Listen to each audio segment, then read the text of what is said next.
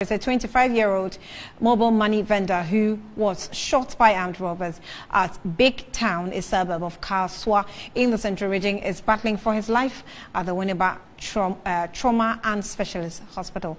The victim was attacked at the shop by three armed robbers on Tuesday evening.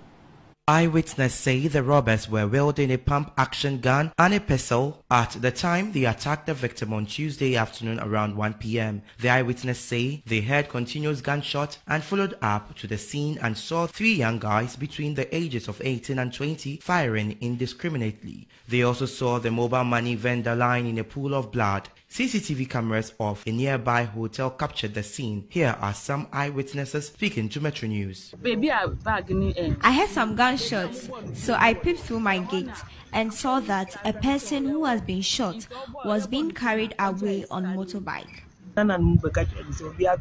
Initially, when we heard the sound, we thought it was someone who had thrown a stone against our gate.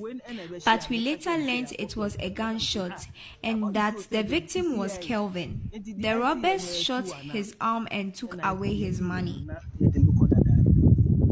Police has begun investigation into the matter.